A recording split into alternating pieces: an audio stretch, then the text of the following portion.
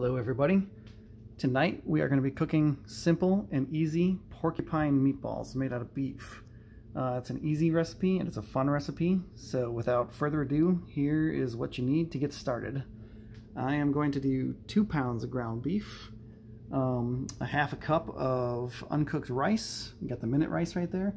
We're going to need two cans of cream of chicken soup. Uh, you're going to need minced onion, you could do fresh or the stuff out of the spice rack. I'm just doing spice rack tonight. You're going to need two eggs. You're going to need salt, pepper, and two cups of water. So let's get going. Start by putting your ground beef in the bowl. Next, go in the eggs.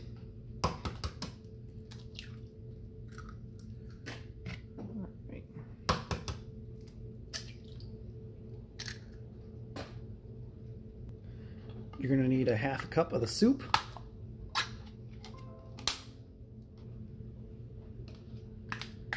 Just like so.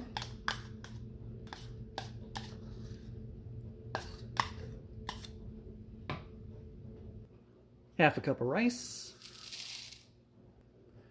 Half a cup of mixed onions from the pantry. Again, you could do fresh onion or the uh, spice rack minced onion. I'm just doing the dry stuff tonight. And it goes two teaspoons of salt. There's one. And come on, numero dos. There you go. Followed up by a half a teaspoon of pepper. Ground black pepper or just the pantry black pepper is fine. So then, after all that, once you make sure your hands are washed, go ahead and start mixing up your meatballs with your bare hands, just like I usually do and have shown you guys several times now in my other videos uh, while we're sitting here mixing. Go ahead and check those other videos out while you're thinking about it. I got the enchilada, enchilada meatball recipe and I've got a recipe for regular beef meatballs with Italian seasoning that you bake in beef, uh, beef gravy. Let them simmer in the oven for 45 minutes. Those are also really good recipes. Keep mixing this. Make sure all the ingredients thoroughly mixed together. Make sure that the egg is mixed, the onion, the rice, salt, pepper, everything is well mushed, thoroughly combined.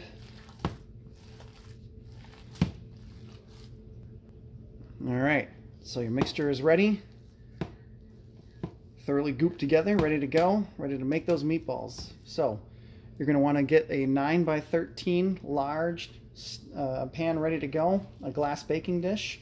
Uh, you could do this in either, or um, you could bake them in the oven at 325 for about 45 minutes, or you could simmer them on the stove top in a large frying pan. You can brown them in a frying pan and let them simmer in the soup on a frying pan. But I'm going the oven route tonight. So bring your, uh, your non-stick pan out, put a little Pam in, make sure it's non-stick, and that bottle of Pam is just about out. All right, so let's get our meatballs going. You want to grab just enough beef. Uh, grab enough of the mixture to mix meatballs that are about an inch to an inch and a half diameter. Uh, you could make them up to two, two and a half inches in diameter or even larger if you really wanted to. Uh, but you may have to adjust your cook time accordingly. So here you go, an absolute perfect meatball. It's got all the ingredients well blended in. Uh, the rice is mixed throughout. These are going to be really, really good porcupine meatballs once they're done. Let me make a large one for you. Take, grab a bunch of the mixture, put it in your hands, just volley it back and forth, up and down, just like your grandparents or parents used to do back in the day. Back and forth, up and down, till that meat is an absolute 100% perfect meatball. Well stuck together. Ingredients are mixed throughout. Ready to go. That was a really big one. So let's mix one or two more here. You can watch what I'm doing. Just going back and forth with it. Just like that, a little bit in slow motion so you can see. Boom. Perfect meatball. Right in the pan it goes. And there you have it. A full 9 by 13 non-stick or non-stick baking dish full of beautiful, delicious meatballs, varying in size from about one and a half inches to two and a half inches in diameter. These guys are really big. They are going to be awesome. So what we're going to want to do next is mix together our water and the remainder of the soup in a bowl. So let's get that mixed together, ready to go. Put in two cups of water.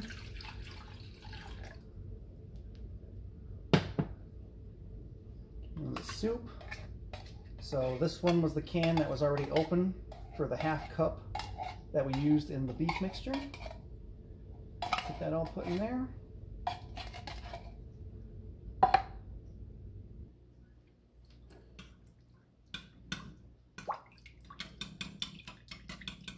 Make sure that's mixed together real good.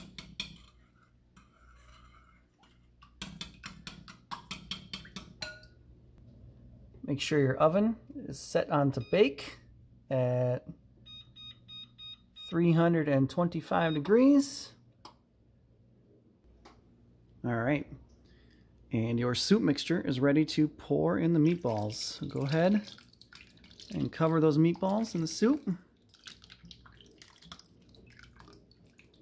Make sure they're taking a bath, well covered. Of make sure that the soup gets over the top of them. Yeah, it's to be great. Delicious. And we are ready to put them in the oven. All right, in the meatballs go. 325 degrees. Alexa, set timer for 50 minutes. All right, ladies and gentlemen, the timer just went off. There's our meatballs. Let me grab my mitt and pull them out. Oh, yeah.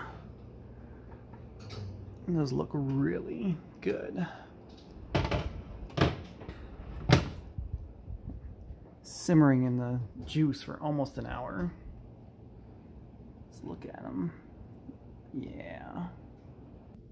Let's go ahead and serve up a plate and see how we did. Man, these puppies look really good. Mm.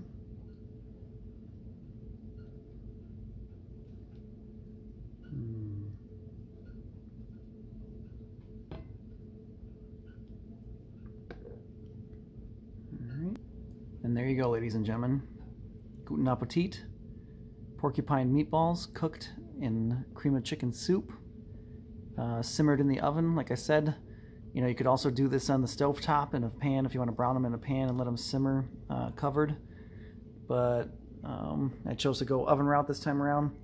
If you don't have to make this many, you could easily cut the recipe in half. It's all proportional. So it's a very, very easy thing to make and do. Enjoy, everybody.